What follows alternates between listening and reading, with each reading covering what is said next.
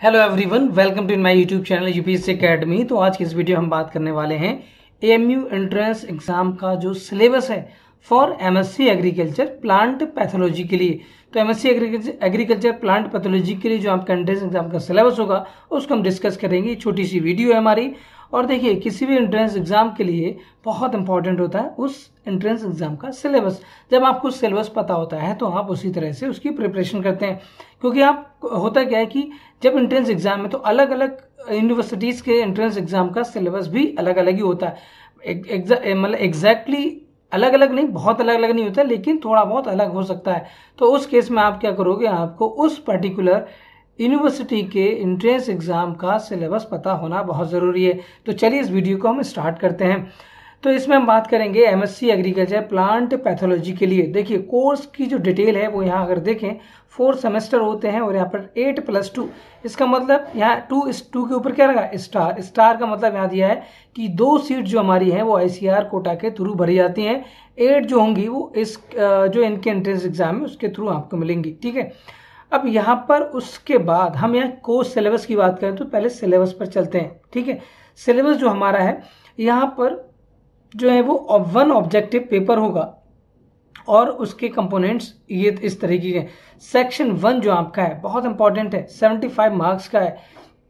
यहाँ पर general awareness आएगी किसमें? In agriculture and related branches of life sciences and या फिर बायोलॉजिकल साइंसेस ठीक है, एक ही बात है। अब यहाँ पर 75 मार्क्स का पेपर होगा जो डेढ़ घंटे आपको मिलेंगे। 75 मार्क्स के लिए डेढ़ घंटे का टाइम मिलेगा। ओवरऑल आपका टू आवर्स का आपको टाइम मिलेगा। अब यहाँ पर हमने किसके लिए बनाया? प्लांट पैथोलॉजी के लिए। तो आपको कौन सा सेक्शन करना है? सेक्शन थर्ड करना है। वन और फोर्थ आपको नहीं करना। ये इसलिए दिया है क्योंकि यहाँ पर ये लिखा है एडमिशन इंफॉर्मेशन के बाद, के बारे में। चाहे आप एंटोमोलॉजी से फॉर्म भरें, चाहे प्लांट पैथोलॉजी से भरें, चाहे नेमाटोलॉजी से भरें, आप इन तीनों का जो एक ही पेपर होने वाला है, ठीक है? यहाँ पर आप जो है वो एक ही पेपर देंगे इन तीनों के लिए। अगर अगर आप जो है वो प्लांट पैथोलॉजी भर रहे हैं तो आपको जो है वो सेक्शन थर्ड एंड फ़र्स्ट करना है। तो थर्ड और फ़र्स्ट को मिलाकर आपके कितने? 200 मार्क्स हो जाएँगे और यही आपका सिलेबस है यहाँ पर। ये साफ़ साफ़ यहाँ पर लिखा है, ठीक है?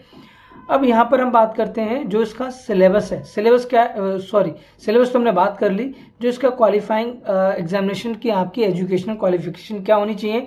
तो यहाँ पर देखिए, ये इंपॉर्टेंट पॉइंट है फिफ्टी फाइव परसेंट से कम अगर मार्क्स होंगे तो आप यहाँ पर नहीं भर सकते। किस, आप जैसे बीएससी एग्रीकल्चर जैसे आपने बीएससी केमिस्ट्री या मैथ किया तो आप नहीं फॉर्म फिल कर सकते। इसमें वही बच्चे कर सकते हैं। जो बीएससी एग्रीकल्चर जिन्होंने किया है बीएससी एग्रीकल्चर से की है बीएससी हॉर्टिकल्चर से किया है, फिर बीएससी फॉरेस्ट्री से की है और वो भी 55 परसेंट मार्क्स से कम किए हैं, तब वो फॉर्म भर सकते हैं। और क्या BSc life science bio science with botany as a main subject क्या है?